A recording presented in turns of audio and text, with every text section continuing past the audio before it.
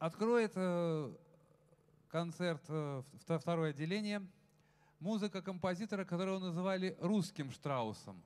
В первом отделении мы слышали австрийского Штрауса, сейчас услышим русского Штрауса.